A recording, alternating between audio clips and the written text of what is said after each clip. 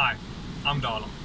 I'm in the car wash today and um, today we're going to be talking about the copyright system that Nissan put into the Leaf to try and prevent batteries from being swapped from vehicle to vehicle and how they ultimately failed.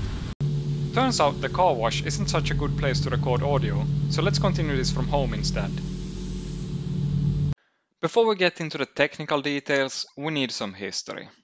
Back in 2010, when the Leaf launched, all batteries were fresh and nobody even knew about this battery ID protection system. After a few years, especially in hot desert areas, the Leaf batteries started to degrade rapidly. Luckily, the Leaf came with a 5-year 60k mile battery warranty, and most owners in these hot areas got a warranty replacement battery if it degraded past 70% within this time. But some owners exceeded the boundaries of the warranty and weren't able to get a free warranty replacement. Fast forward even a few more years, and people were starting to experiment with putting fresher batteries into these older degraded vehicles. This is where people first encountered the invalid battery ID diagnostic trouble code. You see, if you just swap in another battery, the car will go into turtle mode with reduced power output. The car will be drivable, albeit at a dangerous slow speed and not suitable for traffic. Uh, it's not something you can live with. On the dashboard, you will have a permanent yellow light along with the turtle icon. By searching on the My Nissan Leaf forum, we can find a few threads from 2014 that document this. It is mentioned there that only Nissan can perform battery swaps with official tools to program the Vehicle Control Module, or VCM for short, to accept the new battery. This official setup consists of a special laptop running the Consult 3 Plus tool, along with a special plug-in card called the Battery Registration Card. This crushed most people's dreams of an easy do-it-yourself battery swap. So, the battery is coded to the car. To get around this issue back in the early days, daring people tried to swap over the old lithium battery controller, or LBC for short, into the new battery. This requires great caution since you have to open up the high voltage battery to get to the LBC. But this was one way to get around the issue. One major drawback of this is that it will take time for the LBC to relearn the new battery capacity, and the capacity bars on the dash will never return. To further complicate this for the do-it-yourselfers, Nissan did a minor redesign of the mechanical shape of the battery back in 2014, but this will be covered in a separate video. For now we will focus on the battery ID. Fast forward to 2018. A company called EVs Enhanced releases a product called the HV Battery Pairing Tool. It does exactly what it sounds like. It allows for re-pairing of batteries without the extremely expensive official Consult 3 Plus solution. Now all the do-it-yourselfers got a way to do safe and fully functioning battery swaps.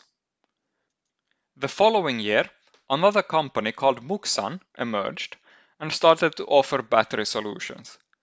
Muxsan currently offers swaps, upgrades, extended batteries, and other solutions slash upgrades for the Leaf. The interesting thing is that they do not use any pairing tools to achieve the battery swaps. So how do they do it? Let's take a look. To understand more about how the battery ID works, we need to look at the CAN data that travels on the EV CAN bus. We are interested in this bus since it's the one that connects the LBC inside the battery to the VCM inside the car. Let's start by looking at the CAN database file that I compiled. This is available on my GitHub, links in the description. The information in this database is stuff that the community figured out over the years, but also some of my own findings. I'm using the Kvaser database editor to open this file to make it easier to visualize what's happening. If I quickly sort here, I can see which ones are being sent by the lithium battery controller. The message that we are interested in today is the one with the message hex ID 1DC. This message contains a few power limiters, but more interestingly, it contains the codes for the LBC. First we have the lithium battery code condition, then we have code number one and code number two. If we look here on the right, we can see how they are positioned in the frame. First here we have the code condition, code 1 and code 2. Uh, the first code condition is a value that goes between 0 and 3. The rest ones is the actual data that is like rolling. Uh, as you can see also there are a bit awkwardly positioned between frame 4, 5 and 6. This is due to space limitations. But um, it doesn't matter much since we have this pre-compiled DBC file that will do all the magic. So it will be easier for us to simply pop this into another program and have it do all the heavy lifting. So now when we know where to look, we can use this file and apply it to some raw CAN data.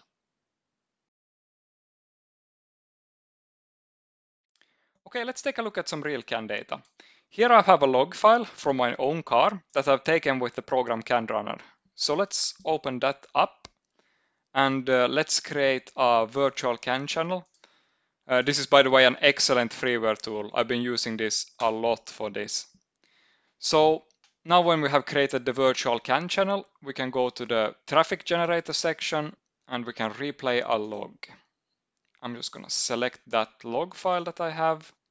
And now I can just select if I want to just push individual frames, play the file once, or loop the file. So if I just start playing this file, press play, you can see all the messages that are traveling on the EV CAN bus. Okay, now that we have a way to generate traffic, I can switch to another program, which is called XTM. This is a demo version of XTM, which allows you to visualize traffic on virtual CAN channels. So I've already set up this uh, desktop here. Let me just quickly stop this. I have a scope running, which displays the LB code 2, LB code 1, and the code condition. The same stuff is also being displayed on a panel here. So if I play the file and I start XTM, you can see that it springs into life. If I zoom out a bit on this scope, you can see that we get a lot of data incoming here and it's uh, going quite fast. This uh, panel doesn't have enough update rate to keep up with this. It's um, simply skipping. So to try and make sense of this, we can instead in CANrunner push individual frames instead. So if I just step through, if I just click this next frame button, we can instead visualize this a bit better. So if I just step it like this, you can see that the code condition goes from 0, 1, 2, 3, and then it goes back to 0. And the two sections with code, code 1 and code 2, are rolling along with it. The code 1 and code 2 generate a total of 8 bytes of data that the VCM expects from the LBC. If you swap in another battery, the code 1 and 2 will contain something different and the VCM will detect this and set the invalid battery diagnostic trouble code. Now that you know how the ID works, it's quite easy to come up with ways to defeat this. You could try and brute force attack it, but I wouldn't recommend it. Since you know your old ID, you can simply replace the new ID with the old one on the CAN bus using a man-in-the-middle attack. Now you might be wondering, how do I tell what battery ID I have? The easiest way that doesn't involve patching into the EV CAN bus manually is to use the latest beta version of LeafSpy Pro. This version can read the battery ID and output it into the ECU version service screen. In this screenshot on the right, you can see the battery ID reported by LeafSpy circled in red. You might have noticed that LeafSpy outputs the data as an 8-character ASCII string. I've created this spreadsheet to be able to quickly convert it to decimal or hex data to use for actual battery swaps and upgrades that I do. I think this is enough for one video. If you made it this far, you're now an expert on how the battery ID works on the Nissan Leaf. I've put links to all the softwares and tools used in the description of this video. In a future video, we can take a look at how the pairing is done using official tools. Huge thanks to all Patreon supporters for making this video possible.